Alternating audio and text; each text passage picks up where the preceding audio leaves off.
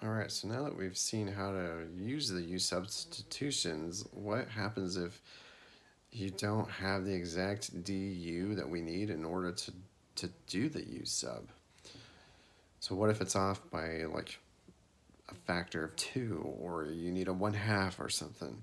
Well, you can adjust things slightly by multiplying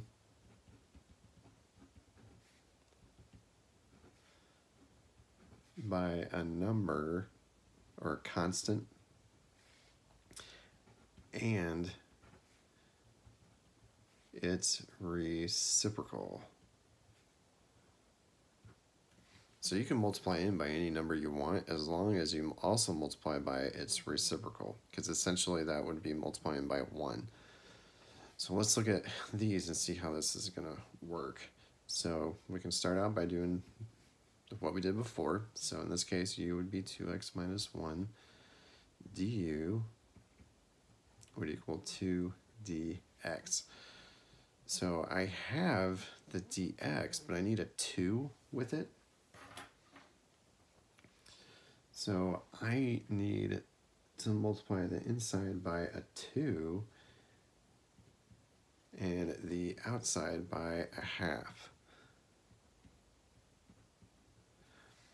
And now I can do my substitution. So the half is going to stay out, excuse me, it's going to stay out there because it's the inside that gets switched around. The stuff on the outside doesn't get affected. So I can now switch this stuff into terms of u. So it would be u squared and the 2 dx becomes du.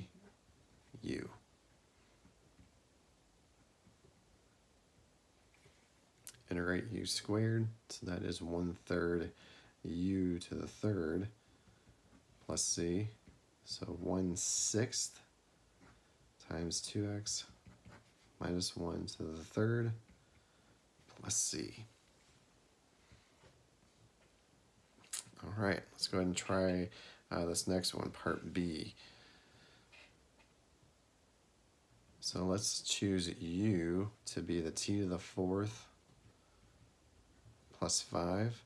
So my du needs to be 4t to the third dt. So I have a t to the third, but I need a 4t to the third. So multiply in by the number you want, so the 4, and then on the outside, multiply by its reciprocal.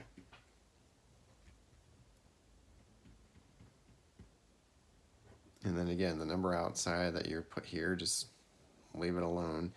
And then just do your u subs for the rest of it. So root u, and then the 4t to the third dt is the du. So integrate the root u, so u to the half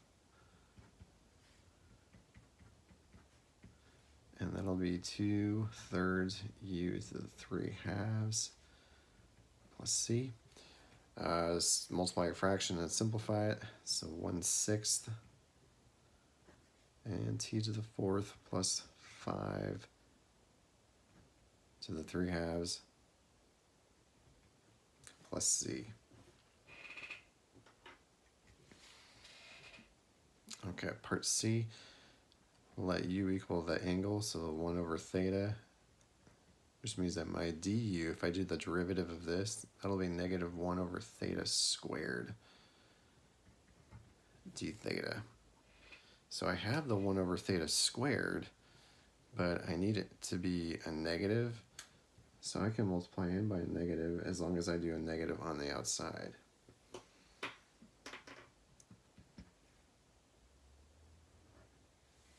So negative on the outside, cosine of u du. The integral of cosine is sine, and that negative stays out in front. Then switch it back. So negative sine of 1 over theta plus c. Again, part D, we'll let u equal negative x because that's the exponent. So then the du would be negative dx. So this one I need a negative again on the inside and then a negative on the outside.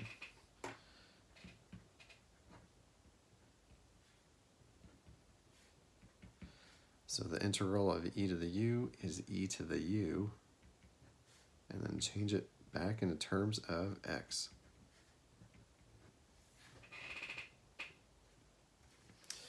Okay, so there you go. There's some good u subs with some more complicated uh, functions.